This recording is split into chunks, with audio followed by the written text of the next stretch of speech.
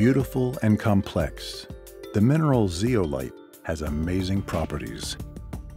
For more than 50 years, chemist Edith Flanigen transformed industries through her work with synthetic zeolites and molecular sieves.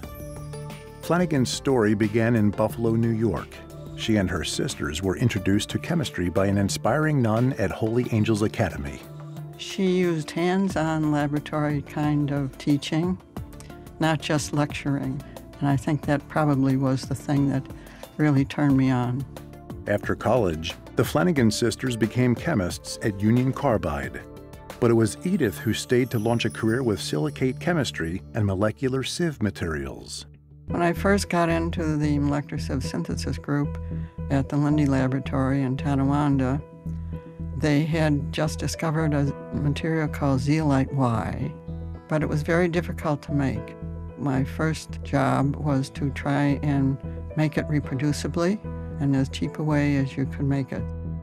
Molecular sieves are tiny crystals with pores that trap specific molecules and separate complex substances.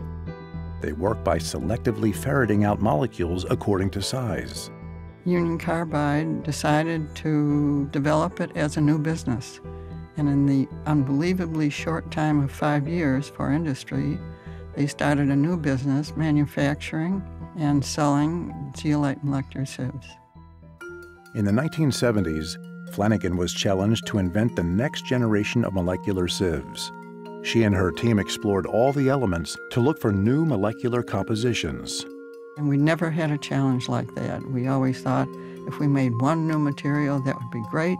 If we made two, that would be even greater. But here he was asking us for a whole new generation of materials. And they succeeded. Flanigen's molecular sieves proved critical to refine crude oil into gasoline.